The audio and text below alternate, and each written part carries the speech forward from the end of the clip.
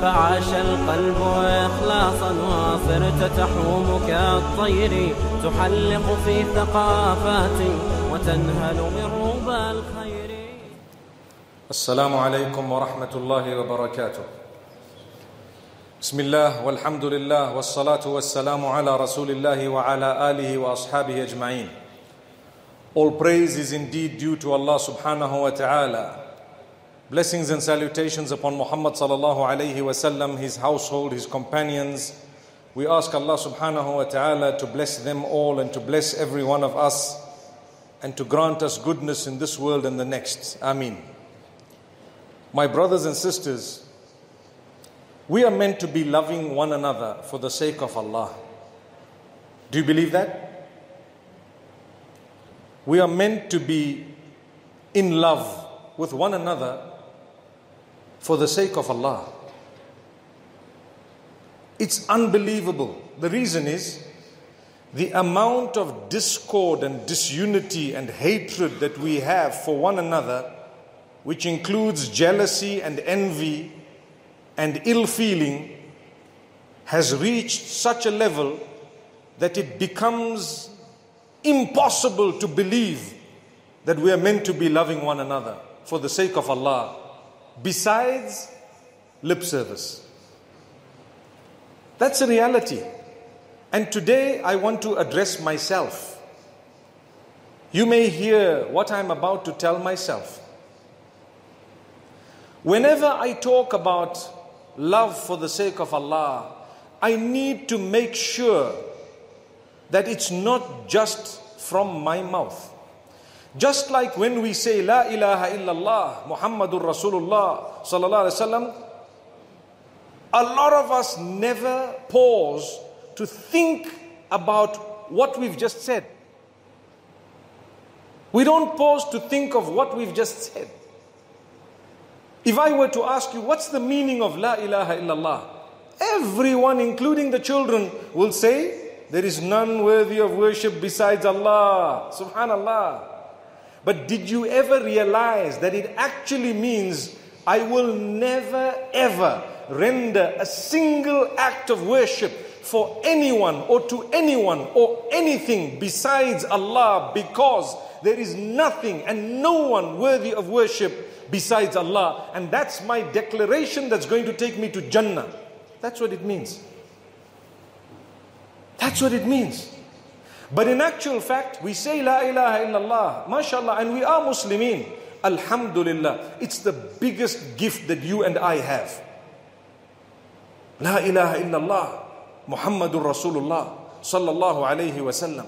The same applies to Muhammadur Rasulullah.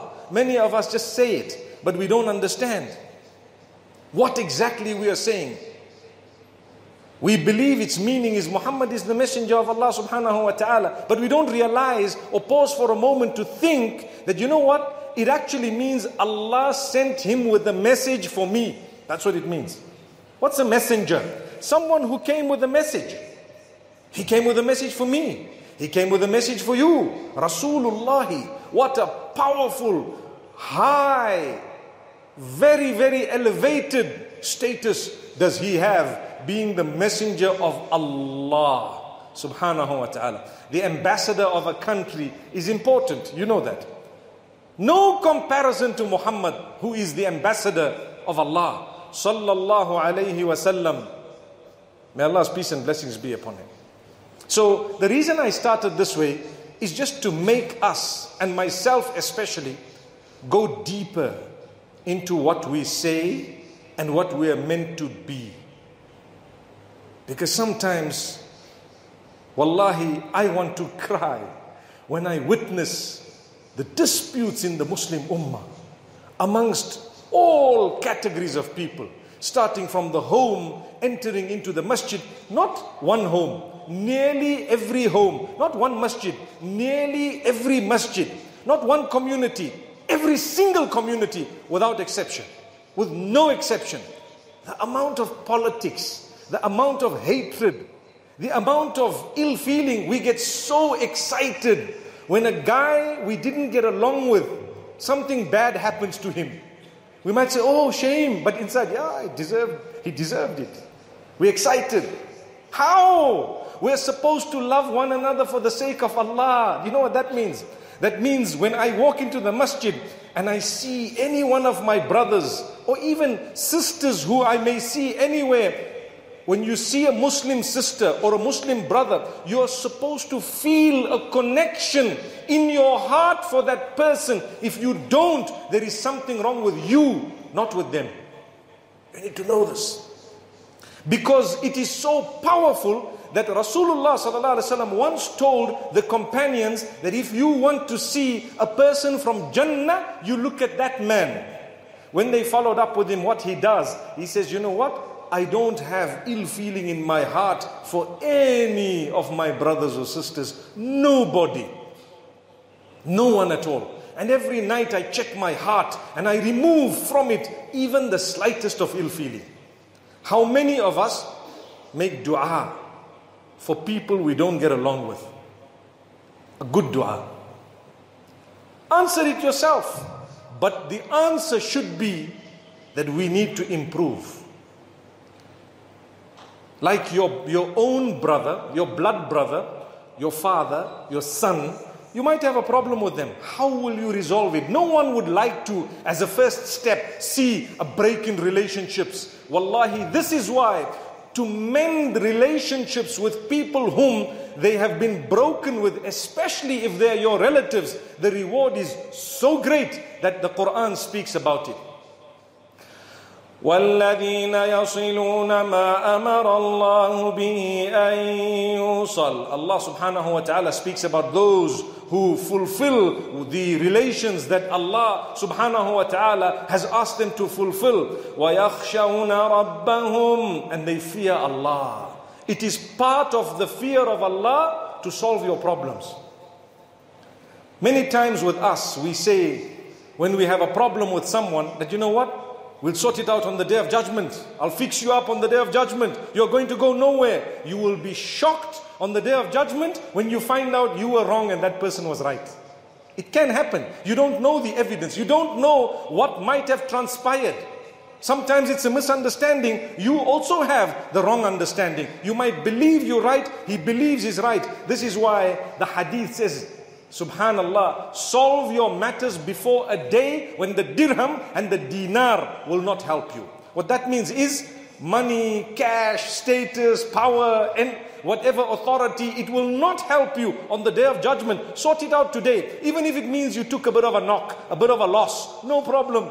I sorted it out in the dunya. Guess what? Allah will grant you Jannatul Firdaus as a result of that because you realize the solution of the problems of the ummah is to instill love in the hearts of the members of the ummah for one another. Until and unless that does not happen, starting from a small community or family level, you will not resolve the problems of the ummah. Today you look at others and you see those people are suffering, those are struggling, but you know what? Yeah, those are not proper Muslims and these guys are not proper Muslims. In Jannah, is just going to be you and your chummy. Who else? Is that what you think? Is that what I think? When Jannah is so broad that the hadith says, Man qala la ilaha illallah dakhal al Jannah. Whoever says la ilaha illallah, ultimately they will enter Jannah. Subhanallah. Your neighbor in Jannah might just be the guy you never spoke to on earth. Subhanallah, for as long as I got Jannah, I'm okay. Because the other option is to go to Jahannam. And that's not on. So, this is why I say, my brothers and sisters, when we say we love each other for the sake of Allah, it actually is a powerful statement. It requires effort, it requires energy, it requires the spending of resources, it requires putting yourself down sometimes, it requires that you humble yourself. It requires that sometimes you let things pass. You know, when you are married, you love your spouse. Well, I hope you do actually. You love your spouse. You are married to your spouse. You have a misunderstanding. What happens? Sometimes you say, oh, no problem. Let's do it that way. Let's carry on. You know, because you don't want it to become a big issue. That's how it should be with every member of the ummah. And even if you do have a problem, you resolve it respectfully. Respectfully. No need to swear and curse and call each other bad names just because the guy owes you two million rands. Example. Two million is a big figure, right? Because he owes you 2 million, he stole it, he ran away with it. Nothing justifies your swear words against the man. Nothing. He could have been taken for a ride. He could have made a mistake and eaten the money. He could have eaten it purposely. But your tongue and your system was not spoiled until you opened your mouth with evil words. You call him big, big swear words. For what? When he owed you the two million, I hope there's no one who owes anyone two million here because I'm not talking about anyone in particular. I'm just giving you a generic example. So if he owed you the two million, he needs to still give it to you. But the day you started bad mouthing in a disrespectful way, I'm not saying you got to forgive him for the two million. You are allowed to pursue it. You should pursue it. If you are big enough to forgive it, mashallah, your reward is with Allah. But if you may want it, no harm. You are allowed to pursue it. But be respectful. Remember, the hadith goes as far as saying, the Quran also speaks about it. وإن كان ذو عسرة فنظرة إلى ميسرة If a person who's owing you money is in difficulty, give them some time until the day of ease. The Quran encourages. The Hadith says, whoever gives someone a time and whoever actually may even go beyond that to forgive what they owe, if they know that this person is suffering or going through tough times, Allah will forego for that person's sins on the day of judgment and may grant them Jannah in return. Similarly, there is another narration of a man who entered Jannah and they asked him, What is it that you did? He says, Well, I did nothing much, but I used to have a young debt collector, one of my boys who used to collect the debts, and I used to tell him, If anyone is finding it difficult, leave them out, go to the next person. And for that, Allah says, We gave him Jannah. Why? It's the love for the sake of Allah. You are meant to love each other for the sake of Allah, even if you've had differences, even if you've had problems, even if someone stole someone else's money, and even if someone was a bad person or not, and what, what not. That does not mean we should not solve our problems. No, don't get me wrong. But it means when we solve them, we solve them with love, with care, with respect, Ah, you will give me the two million and inshallah we'll work a plan out. And if you don't, very unfortunately, we will have to take this thing to the next step, but with respect. Are you following what I'm saying? It has to just be respectful. That is the love for the sake of Allah. If we did not fear Allah and we did not, for example, love each other for the sake of Allah, we would all go around shooting each other. And people would go around beating each other up but that's not allowed, that's not permissible because your two million, you can't break his bones as a result of that. Those bones, the value of them in the eyes of Allah, Allah gave them, Allah actually owns them. So what you did is you destroyed an amana of Allah because there was something material that that man owed you. This is what happens. We have a problem with each other, we say, break his bones. Break whose bones? That's from Allah. You got a problem, sort him out. Really, if push comes to shove and the person happens to be jailed, in a respectful manner that could still be acceptable on condition that it was done in a proper way, respectfully, etc. Et that was your last resort. It could be no other way. We don't like it that way, but sometimes it has to happen. There are criminals in society, there are criminals in the community, but what we need to know is Allah is above all. Allah subhanahu wa ta'ala puts us in situations to test us. Let's not fail the test. We love each other for the sake of Allah. When I disagree with you, I need to know that that disagreement must be within a certain limit. I cannot just let it free and start saying things and creating a bigger disaster because that is what's happening on the globe. As a result of that type of behavior, guess what happens? We become small circles of people. Me and my group, you and your group, him and his group, she and her group, that one and their group. And you know what? when one is suffering, the others are rejoicing. When the other is suffering, the rest of them are rejoicing. As a result, the whole ummah is struggling. That's why the hadith says, لا تظهر الشماتة لأخيك فيرحمه الله ويبتليك. Perhaps Allah might take away the suffering of someone and make you suffer with the same suffering or even more as a result of you laughing at them when they were suffering. So don't laugh at someone. Don't become happy when someone else is at a loss because Allah is able to remove the loss from them and affect you or inflict you with the same loss, if not worse. So when you see someone suffering, don't become happy. Why? If you become happy, it's a matter of time. It's going to come to you. Matter of time 10 years, 20, 30, maybe even 40. But it will come. Why? Because that is Allah's way. That is His system. You became excited at the loss of another person. Allah will test you with it. May Allah forgive us. So, my brothers and sisters, I would like to remind myself today that when I see all of you, I need to feel within my heart a connection, a love. You are a person, we want to see you in Jannah too. You are a person trying. You are here, for example, in the masjid, the house of Allah, to do what? Because I fear Allah at least to the degree that I read Jumu'ah. I'm talking of the worst case scenario. Someone could say that. I read Jumu'ah. Okay, it's not good enough to only read Jumu'ah, but guess what? You are my brother in the deen. I'll try and help you positively or I will not harm you. And that's the beauty. We are supposed to help one another. Today, it's obvious we cannot help everyone, and you cannot help people according to the way they want you to help them. As a result, minimum, don't harm them. If you have not harmed someone, wallahi, you have helped them. How? They are calm, they have less problems, one less problem. You follow what I'm saying? Because today, we have a problem from all the people who are harming us. If the one guy drops out, we say, hey, mashallah, one person drop out. No more troubling me. So learn to help people, minimum by dua. I believe that it is very possible to help everyone through dua.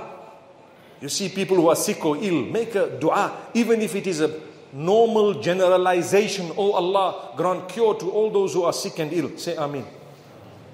Oh Allah, grant ease to all those in debt that they can pay their debts back. Say Amin. Oh Allah, grant Jannatul Firdaus to the marhumin of the Ummah. Say Amin. Subhanallah. In this way we help people. How do you know who that dua will reach? You don't know. But I love you for the sake of Allah. And I need to, even if I have a few differences with you, so what?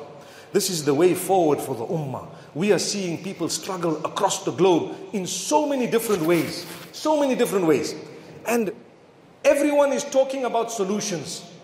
I promise you, we need to love one another for the sake of Allah. Do you know how serious the matter is? Rasulullah tells us that on the day of judgment there will be a special shade for seven categories of people. From among them, two are those who used to love one another for the sake of Allah. Love one another for the sake of Allah subhanahu wa ta'ala. It is part of our ummah. It is part of our belief. That's why the Prophet says, لا يؤمن أحدكم حتى يحب لأخيه ما يحب لنفسه. None of you are considered true believers until you love for your brother what you love for yourself. Subhanallah, that is a difficult one. Very difficult one. May Allah subhanahu wa ta'ala bless every one of us. I was just thinking that the time is not yet 20 past, but then I remembered when I started it was 5 past and the clock was at 1 o'clock. So the reason why I might have delayed for two or three minutes, not because I wanted to, because of that clock. May Allah subhanahu wa ta'ala grant us all ease. Jazakumullah khair. Wa sallallahu wa sallam ala nabina Muhammad.